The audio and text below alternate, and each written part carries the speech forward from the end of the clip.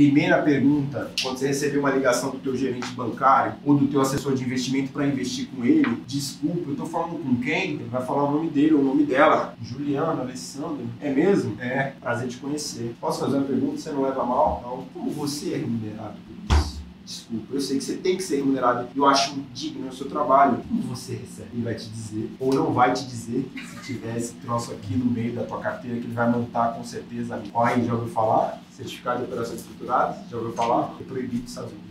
O COI é tão bonito e a XP tá empurrando o COI em todo mundo. Já vi carteira com 50% de COI, tá empurrando o COI em todo mundo, todas as carteiras. E aí o cara vai te empurrar o COI, por que, que foi proibido? No final do período X, de 20 anos, o intermediário ganhou mais que você. Que ele compra as ações, ganha rebate e ganha nas tuas costas. Aí no final do período você tem lá 200 mil e a XP ganhou 300. Mas não é possível. O dono do dinheiro sou eu, ele ganha mais dinheiro que eu. É, pra qual?